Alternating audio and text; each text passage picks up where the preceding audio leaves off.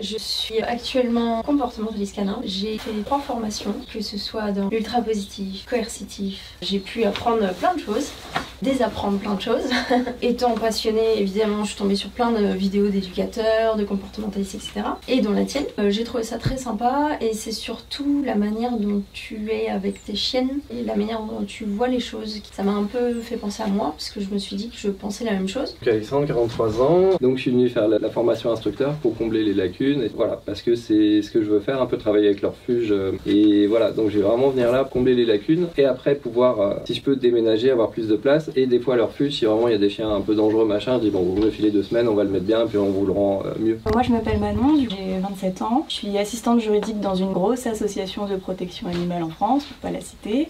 En travaillant là-bas, je me suis vite rendu compte que euh, voilà, les cabinets d'avocats, c'était plus trop pour moi et c'était plutôt euh, la protection animale maintenant. Voir la cruauté tous les jours et voir à quel point bah, tous ces chiens sont incompris, finalement, ça m'a vraiment donné envie de me consacrer bah, entièrement à ça. À chaque fois, on essaie de trouver bah, la personne miracle qui sera capable d'aider l'animal, le comprendre. Et c'est de plus en plus difficile. J'ai l'impression qu'il y a des méthodes, voilà, c'est euh, t'as un problème, voilà la solution, mais en fait c'est pas ça. L'individu il est à part entière. Je suis en train de faire une formation de comportementaliste canin et félin euh, par un, un organisme à distance. Et euh, c'est comme toi Roxane, euh, voilà, je prends ce qu'il y a à apprendre, mais je suis pas non plus super convaincue par ce que je suis en train d'apprendre. Alors moi je m'appelle Thierry, j'ai 32 ans, je suis technicien agricole de formation, j'ai fait du coup un BTS en production végétale et j'ai toujours été passionné par les chiens. J'ai découvert du coup ta méthode euh, il y a deux ans. J'ai toujours adoré les chiens, j'ai toujours été très intéressé par l'éducation canine, mais j'avais un, un gros doute en fait sur les méthodes. Et en fait c'est toi qui m'as vraiment redonné en fait cet intérêt pour, pour ce métier-là en fait. Ben, je suis Nadine, j'ai 56 ans. J'ai commencé du bénévolat donc à la SPA. C'est pas facile parce que je trouve que les animaux sont très stressés. Je sais pas comment en fait les aider et c'est pour ça que j'ai décidé de faire cette formation en fait. hein. Ta façon de voir les choses, et ben forcément, je veux dire, je pouvais que atterrir ici.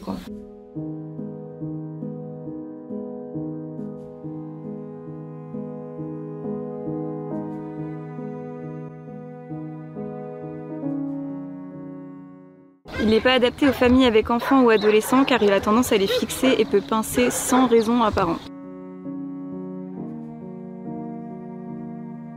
Bah c'est Seth, sorti de refuge, il a fait un délai fourrière, il est arrivé à bout de course, il risquait l'euthanasie, donc il est passé en refuge avant d'arriver ici, et moi je l'ai récupéré trois semaines à moi. Son passé, je sais pas. Le seul défaut de Seth, c'est que les ados on les évite, il a tendance à fixer, et après il passe. Donc c'est vrai que pour lui, ça va être un petit peu plus compliqué, c'est de lui trouver une famille sans, sans enfant quoi. Vraiment il est super sympa. Euh, Là, du coup, ce sera Oklahoma qui montre des signes de stress post-traumatique liés à un long enfermement. Elle tourne en rond dans son espace, elle s'entend bien avec les mâles, pas avec les femelles ni les chats, et elle nécessite un encadrement attentif.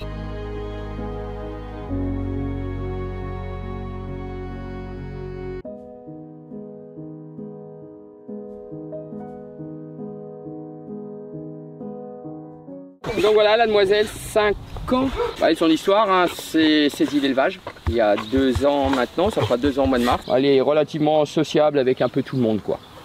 Il n'y a pas de souci.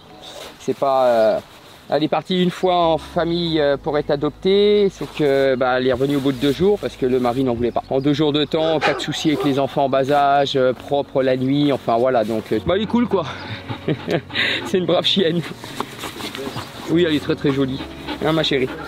Bah oui, moi je veux dire bonjour à tout le monde. Voilà, moi j'aime tout le monde. Voilà.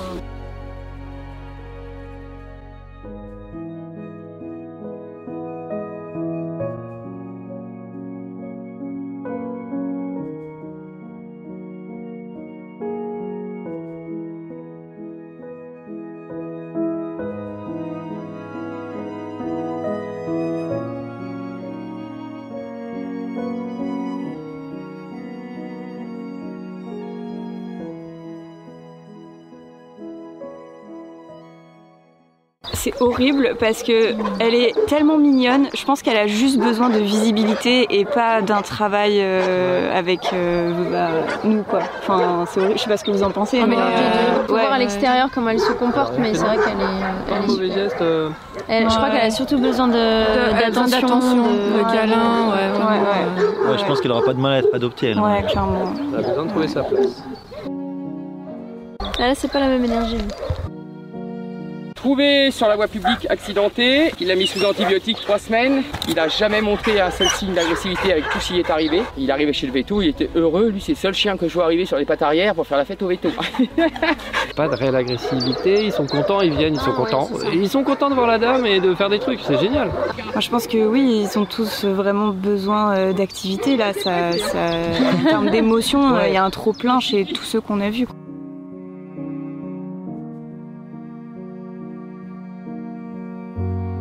Voilà, Iska, elle, elle vivait en famille avant d'être abandonnée. Elle a fait un an de fourrière. Rien de particulier, relativement obéissante. Elle a les bases puisqu'elle avait été vécue en famille. Euh, qu'est congénère, femelle, je sais pas.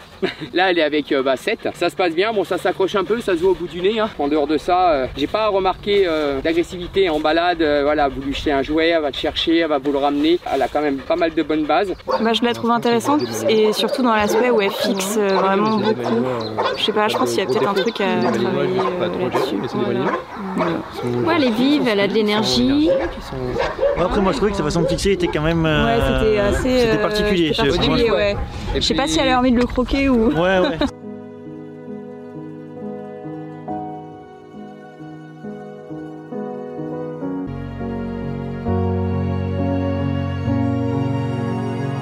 Elle est arrivée ici avec une grosse infection utérine. C'est une chienne, elle est ok mâle, pas ok femelle, pas ok chat. Pareil, pas fugueuse du tout. Elle est sortie sans laisse, elle revient quand on l'appelle, elle revient même toute seule dans son chenil.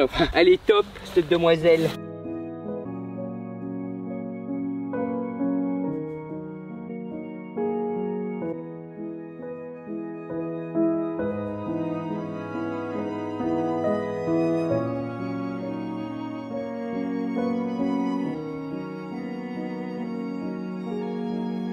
Elle a repris confiance en l'humain apparemment.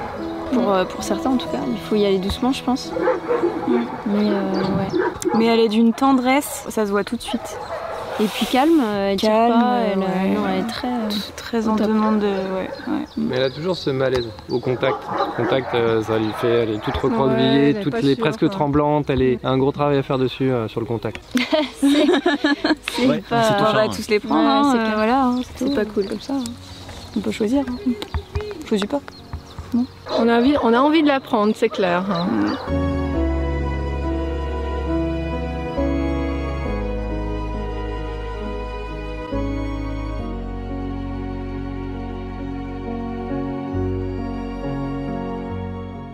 Même élevage, donc euh, mâle reproducteur hein, bien entendu. Donc c'est lui qui a été euh, amputé de la queue. Bon, Après mâle, je sais pas non plus. Hein, je peux pas, voilà, je vais pas mentir. Hein, ils sont pas testés mâle, on va dire. Ça fera deux ans au mois d'avril qu'il est arrivé dans la saisie aussi. Il fait partie des 19 qui ont été saisis. euh. Ça commence à être un peu long. Même chien, c'est un être vivant et euh, il a besoin. Bah, décidément, vous les attirez tous vous. Bah moi c'est pareil, mais j'ai craqué pour l'autre, moi, euh, sa La copine. chienne. Mais enfin, en termes de travail, il y a plus de boulot à faire sur les autres, je pense. Mais en termes de euh, voilà de longue durée, des tensions ici euh, sans famille, c'est vrai que eux ça devient urgent parce que c'est ceux qui sont là depuis plus longtemps, quoi. Donc c'est à voir à ce- sous quel euh, axe on, on se base, quoi, finalement. Après, moi, j'ai l'impression que les deux tervurennes, ils auront pas de mal à se faire adopter. Parce... Ouais, c'est compliqué, on a envie de tous euh, les sortir de là. Putain, ouais. ouais, franchement, c'est difficile. Ah bah non mais je suis du même avis là, c'est difficile. Euh, c'est soit euh, on arrive à sortir un chien mais ça fait longtemps qu'il est là donc euh, ça lui ferait euh, du bien. Soit on prend justement un chien qui est pas là depuis très longtemps mais qui a besoin de travail ou alors en tout cas un travail spécifique. Il faut être un petit peu plus euh, assidu. Bon du coup la petite... Est-ce que vous avez choisi le vôtre déjà? Ou vous en avez encore plusieurs? Déjà je pense que Nirvana on peut la... Moi, je suis d'accord. Je pense que c'est vraiment elle qui aura moins de mal à se faire adopter. Et... Parce qu'elle a l'air... euh, Après, encore je une pense, fois, je pense ça que veut rien pour dire, tous, c'est du boulot de toute façon, ça c'est Mhm. sûr. Tu restes à côté, dans tous les cas. Moi, je pense qu'elle, en tout cas, elle aura pas de mal à. Elle a pas besoin d'être mise en avant, en tout cas, pour être adoptée. Quoi. faudrait donc quelqu'un de très particulier euh, Et Est-ce qu'on va réussir à l'avoir. trouver une famille à la fin aussi Et du coup, est-ce qu'il y aurait, euh, il y a moins de il chances demande beaucoup de travail, ce chien, je pense. Bah du Euh, coup, si on applique que cette règle à euh, Titan, on l'applique à Il faut avoir Iska aussi. plein hein. temps avec. Oui, ça va Euh, avec. ça va avec. Elle a l'air très vive. Après, moi, juste sur Titan, j'ai pas trouvé traumatisé du tout et je trouve qu'il est encore vachement, enfin, il a, il a l'air d'avoir confiance. Il- Ouais, juste C'est un chat très speed, voilà, mais après, euh, c'est un Ouais. malinois, quoi, Est-ce et qui a parce qu'il 14 est ans, qui est jeune en plus. euh, Il y en a jeune. plusieurs, on a l'impression que c'est juste des malinois en fait qui sont un peu Mhm. speed, pas mis en avant correctement ou qui sont euh, pas assez d'activité, mais c'est juste Ouais. des malinois. C'est possible aussi qu'il est pas. Là, mais là, c'est pas l'objet. Et Là, la c'est- dame il faut trouver un, euh, adoptant là à la fin de la semaine pour ce chien. toujours pour prendre les plus durs pour euh, leur donner une vraie chance. Parce que... 7, on sait qu'il y a 4 ans, Nirvana c'est 7, Titan c'est euh, 14 mois, Ah oui, il a 14 Iska, ans. il a- euh, on sait pas. On parce sait pas que, parce qu'on l'avait pas dans la liste. euh, je sais pas si on l'a demandé. Babine, je crois qu'elle a dit que c'était. euh, 5 ans. Euh, oh, 5 ans et elle faisait plus d'ailleurs. Ouais, Oui, puis- elle 5 ans et elle faisait Ouais. plus. Merde, ouais, ouais. Et euh, Smile c'est 5 ans. Parce qu'on sent qu'il y a derrière un truc. Parce que là, elle est, elle est toute mignonne, elle demande de l'attention, mais on, on sent qu'elle est assez craintive, Mhm. qu'il y a, il y a quelque chose derrière. Est-ce été- qu'elle a besoin de. Ouais, Elle a été vraiment trop. ah ouais, ouais, gros trauma. hein. Si on parle de Titan par rapport à l'énergie, je pense que les deux. Parce que 7, il en avait, mais il s'est posé tout de suite après. Ouais. Donc il y a quand même un peu plus de contrôle, parce que euh, les autres, sinon, ça. C'est ça. Par contre, très puissant, cette. Oui, l'air. puissant aussi. En tout cas. Je pense que ce qui me trahit, c'est que Babine, elle m'a fait beaucoup de peine en fait. Ah ouais, moi, ça Elle m'a fait énormément de peine. Tout nous oriente sur le petit loup, euh, sur le petit loup là. Autant moi. qu'il a, elle a queue coupée. Choupi. Choupi, ouais. Ok. C'est vrai qu'on peut faire quelque chose dessus, quoi. Non mais voilà, je pense qu'il faut être réaliste aussi et se dire voilà vendredi on va quitter le truc. Si on n'a pas d'adoptant, ben, on va tous avoir la boule au ventre parce que euh, il va falloir leur foutre là quoi. Ouais, Moi, j'avais plutôt mon choix sur euh, 7 au départ. Ouais. Ouais. Enfin, bon, c'est vraiment ces deux pattes qui sont. Tu sais, ce truc de. Prenez-moi. Bon. Vite. Choupi Choupi.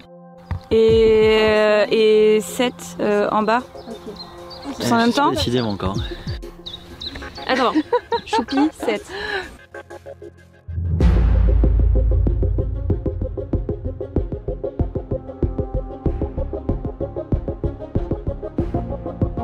Euh, bah, Choupi en haut. de réflexion. Alors, alors Choupi en haut, Ok. Choupi en c'est le dernier. Ok. 7 en bas. Allez, 1, Deux. 2, 3. Oh, c'est moi qui ai fait le- la balance. Donc c'est Choupi. Ouais, parce qu'il il a peut-être plus besoin d'être euh, sorti de là. Voilà, il- je- Ouais, ouais. Plus par, pour cet aspect-là, ouais. C'était dur hein. Ouais. Après, on peut pas les C'était tous euh, les bah oui, c'est clair. ouais. On peut pas tous les aider. Dans tous les cas, euh, on a quand même pu les présenter, on a quand même pu euh, montrer qu'il y a du potentiel pour tous. Par contre, ça c'est sûr. Certains ont besoin de plus de temps, plus de patience, plus de travail, mais après avec de la volonté, c'est des chiens super quoi. Là, on était juste sur des gens qui avaient pas compris le principe d'avoir un chien de base, donc euh,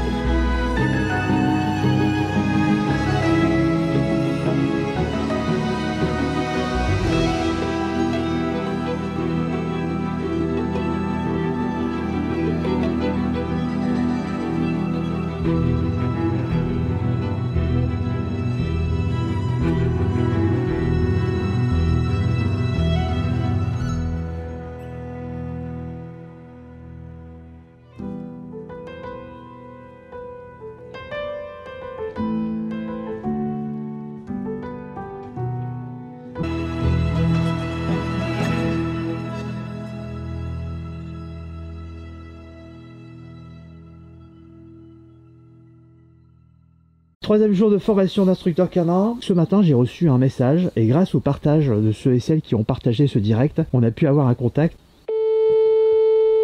Allô Bonjour Claire, c'est Joseph de la méthode Gun. Ah oui, bonjour monsieur. Comment allez-vous? Très bien et vous? Oui, très bien. Moi, je vous suis sur Facebook. Je vous... c'est, formidable ce que vous faites.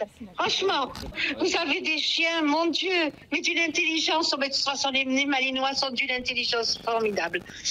Merci en tout cas, c'est très gentil pour ces compliments et ça, ça me touche énormément. Je vous ai promis effectivement de vous appeler et j'ai été surpris ce Oui. matin de, d'avoir lu euh, votre message et j'ai été Oui. euh, touché de me dire qu'il y avait enfin quelqu'un qui pouvait s'intéresser à notre Shopee. Alors du coup voilà, moi je suis ouvert à vous par rapport à vos questions éventuelles que vous souhaitez nous poser. On joint l'utile à l'agréable pour travailler avec des chiens de refuge et évidemment Oui. aussi euh, on vous propose pour les chiens parrainés une formation gratuite. Quel est votre état d'âme par rapport à... Ben, c'est- ben, C'est-à-dire que moi, bon, moi j'ai perdu mon Malinois vendredi. Là. Moi, je cherche un chien parce que mon mari, là, il déprime s'il n'a pas une, une bête là à côté de lui. On est des personnes âgées, hein. donc euh, il faut quand même qu'il sorte, qu'il court. Il faut lui, il faut lui donner euh, quand même. Vous voyez ce que je veux dire Donc là, j'étais en train donc de, de, de réfléchir à ça et je me disais, euh, euh, le pauvre, ce- si je le garde à la maison, bon, moi je peux le sortir euh, un peu en laisse, tout ça dans le dans la dans la forêt parce que j'ai une petite forêt. Mais après, pour le reste, il sera dans la maison, quoi. Enfin, j'ai un, un petit jardin quand même, hein, j'ai un jardin. Donc j'étais en train de réfléchir à ça aussi. Je vais un peu un peu réfléchir parce que je veux voir un peu avec mes enfants, ma, ma famille et tout ça aussi. Ben, mais je vous félicite toujours, hein. Vous êtes c'est formidable, c'est magnifique. Merci à vous.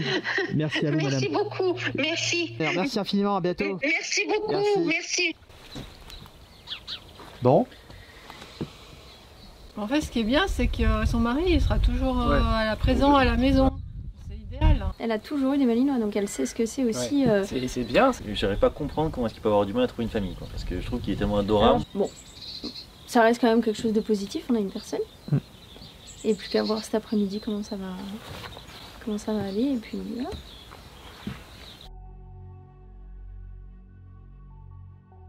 Très bien, ça c'est du rappel silencieux, c'est parfait. Alors pourquoi les onomatopées sont pas euh, préconisées dans l'éducation du chien? Parce que. Euh, pourquoi? Ça fait un truc en plus. Ça hein. fait peut-être trop, ouais. Vous risquez effectivement de brouiller les, instructions par rapport à votre compagnon parce que ces onomatopées, vous allez les prononcer pour tout et n'importe quoi. Et vous risquez effectivement d'être euh, dans une discorde avec lui, on va éviter ça. Alors c'est vrai que des fois vous n'avez pas eu le temps de prononcer le mot, il n'y a pas de souci, on fait preuve de discernement, mais par contre effectivement, à partir du moment où on est conscient de ça, on avis, préfère plutôt lui expliquer instantanément par rapport à l'action pour profiter de cette situation pour lui dire ce qu'on attend réellement de lui.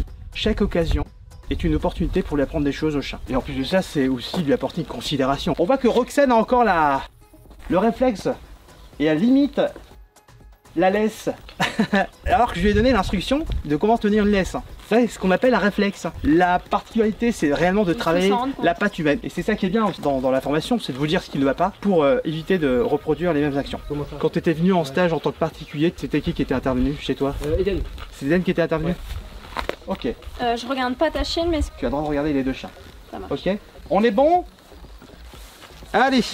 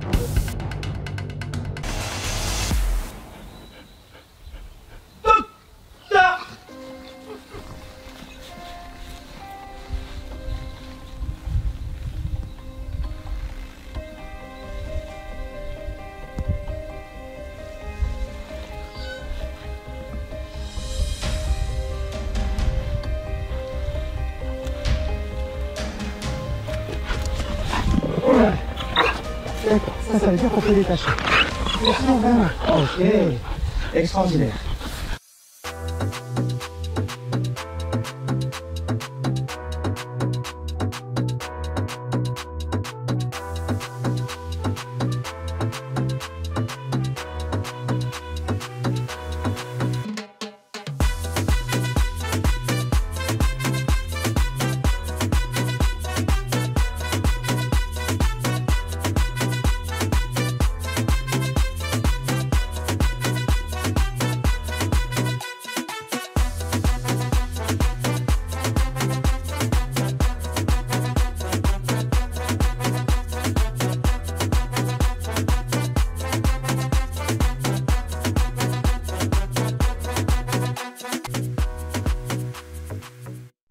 Welcome, bienvenue. Nous sommes en direct sur la chaîne YouTube et on est toujours dans la structure de la méthode Gun et je vois déjà que des gens se connectent. Alors, est-ce que la petite Chopi, le petit Chopi, est-ce qu'il est là? Est-ce qu'on le voit à la caméra? Ouais, super. En tout cas, je profite de cette intro pour vous demander de partager ce direct. Alors, tout simplement pour ce chien, Chopi, un chien qui est en refuge. Il est euh, parrainé par notre structure de la méthode Gun. Eh oui, c'est la première fois qu'il attend le pan. Regardez comment il est attentif cet animal. La gueule bien ouverte. Et aujourd'hui, il est beaucoup plus expressif par rapport à hier. Il était vraiment à nos pattes. Et on vient euh, de terminer euh, le mode docteur. Ça fait deux ans qu'il est euh, en refuge et j'aimerais vraiment lui trouver un propriétaire. Et pour lui donner cette chance, j'ai à plusieurs reprises répété dans mes vidéos et dans ses directs, justement, que je propose une formation gratuite. La personne qui adopte cet animal, je lui propose une formation sur deux ou trois jours pour lui permettre d'avoir tous les outils nécessaires. Il faut toujours espérer de, de dire qu'on peut toujours faire quelque chose. On se posait encore ce matin la question de se dire mais on a affaire à un, brave parce que aujourd'hui c'était le mode docteur. Je vais laisser les élèves s'exprimer. On n'avait pas effectivement euh, une idée de qui était véritablement ce chien parce que ben, on peut pas se calquer sur un chien lambda. On connaît pas l'autre chien, on sait pas qui il est l'autre chien par rapport à ses codes canins.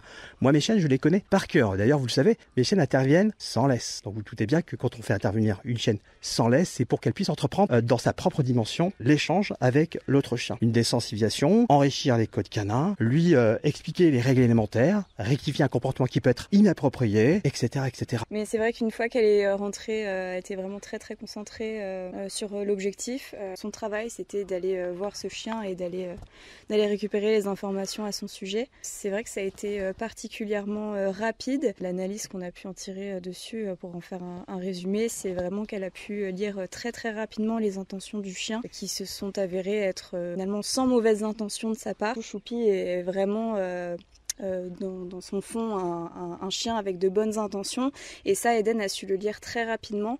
Et euh, ce qui fait qu'elle a tout de suite, bah, je pense que ça a duré moins d'une minute, elle a tout de suite demandé à Joseph de, le détacher. Donc elle l'exprime d'une manière qui est très simple, elle saute sur moi, d'initiative.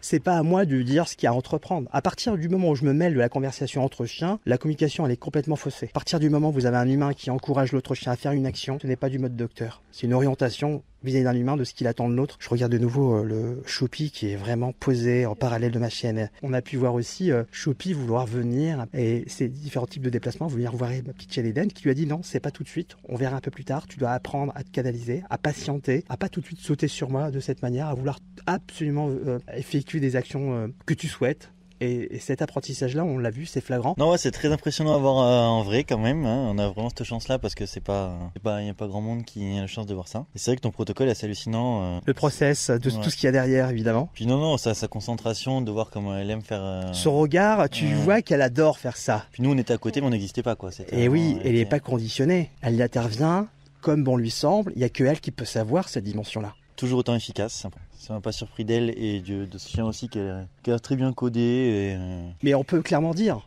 qu'elle est codée. Donc pour ceux et celles qui sont évidemment intéressés par Shopee, honnêtement, je vous demande pas grand chose, simplement de partager. Il nous reste encore euh, plus que deux jours, c'est-à-dire vendredi. Que si on a quelqu'un qui peut venir avant vendredi euh, pour vous accueillir, franchement, ce serait le top. Nous, on est dans le 45, entre Orléans et Montargis. Donc je compte sur vous pour partager tout ça. En tout cas, je vous réserverai bien évidemment une vidéo pour la suite de l'événement. Demain, on sera aussi en direct pour partager aussi notre retour d'expérience avec l'intervention de la chaîne spécialisée Dexy, que vous adorez tant. Et cette chance que vous allez découvrir cette chaîne extraordinaire. Et on sera dans une, autre dimension parce que ce chien, en l'occurrence Chopi, sera détaché puisque l'aval a été donné initialement par Eden. Voilà, bon bah écoutez, merci infiniment d'avoir suivi ce direct, ma petite chaîne Eden qui est aussi contente d'avoir travaillé.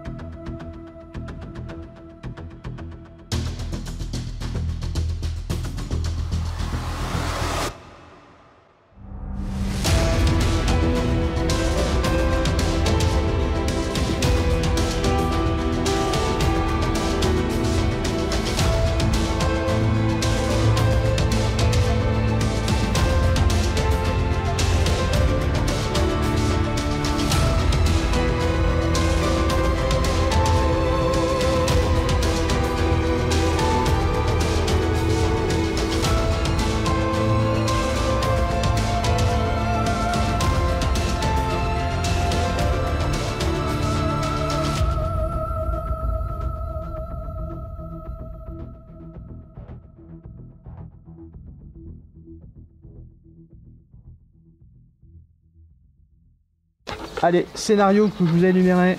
J'ai euh, mon chien qui euh, ne euh, veut plus manger sa, sa gamelle, sa nourriture. Il, est- il a un comportement bizarre. Il veut pas la manger sa gamelle. Il veut plus manger sa gamelle.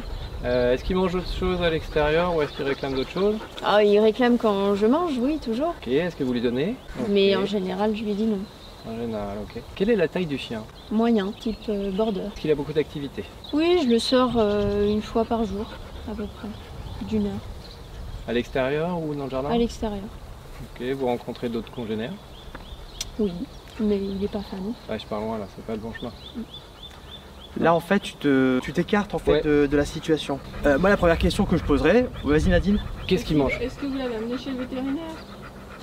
Oui, évidemment, on peut poser effectivement cette question, Oui. mais en premier lieu, là, au niveau du comportement, on voit pas un chien abattu là, Bah non. mais on voit qu'il refuse. C'est que effectivement. sa gamelle, donc été va perturbé bien. là. Mais il C'est- pas, il grave, ne te justifie pas, on Ouais. est là pour apprendre dans tous les cas. Ouais. Mais ce que je veux, c'est que vous réussissez à orienter les bonnes Bah oui. questions. Moi, j'en ai noté quelques-unes. Quelle est sa nourriture Depuis quand vous avez remarqué ce manque d'intérêt pour sa nourriture? Ouais, bah oui, oui, c'est-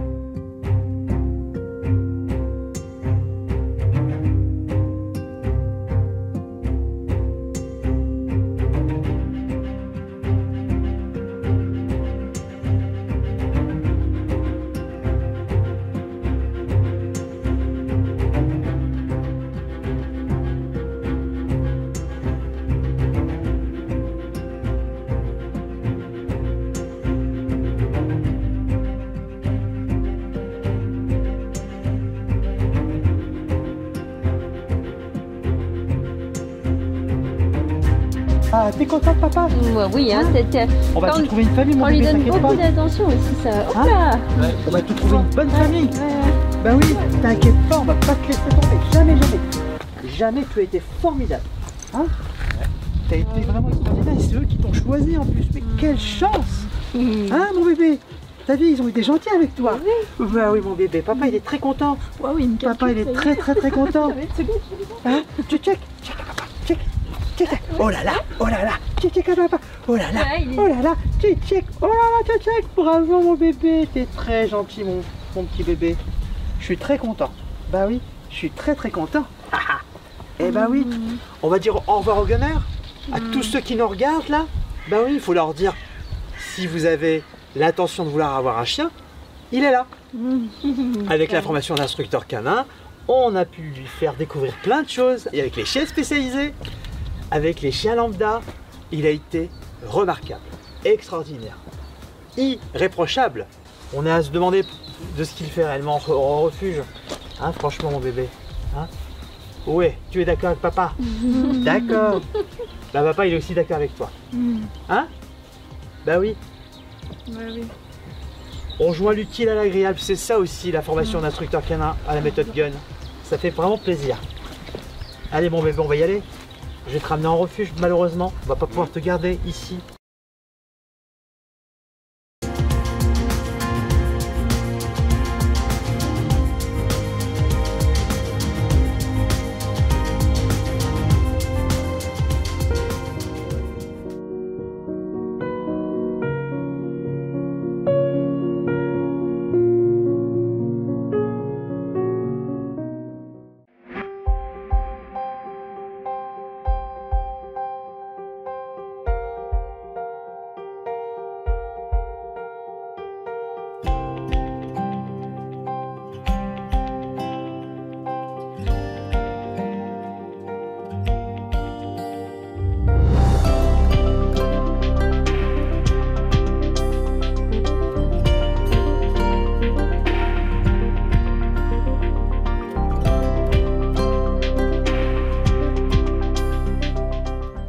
Comme premier Joseph, donc euh, Choupi est là avec euh, ses, bah, ses nouveaux propriétaires, comme tu peux voir.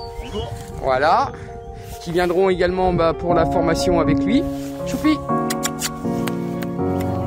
Ce sera Laura pour l'information. Donc ça sera madame pour la formation. Laura, c'est ça? Oui. Voilà. Moi tu vois il est très euh, très féroce ce chien quand même, comme tu l'avais euh, comme tu l'avais décrit, il n'y a, pas de souci. hein.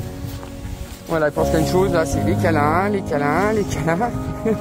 Aller se promener. Vous avez combien d'heures de route encore Deux heures et demie. Voilà.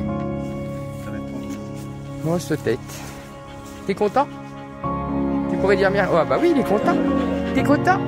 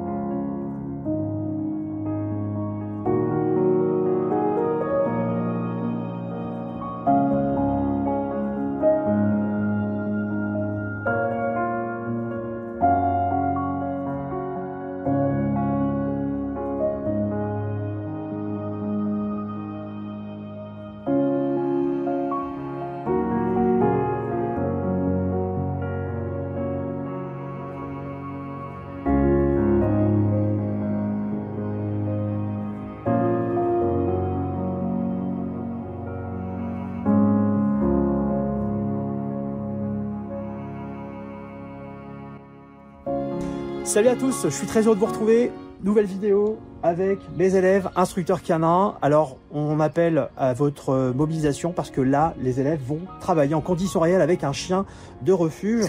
Alors, je voulais vous demander tout simplement de rester connecté. J'en ai parlé d'ailleurs sur mon live sur YouTube il y a quelques instants. Donc, n'hésitez pas à rester connecté sur nos réseaux parce qu'on va avoir besoin de vous. On compte sur vous. Salut. Salut. Ils s'y attendaient pas à ça. Allez, on compte sur vous.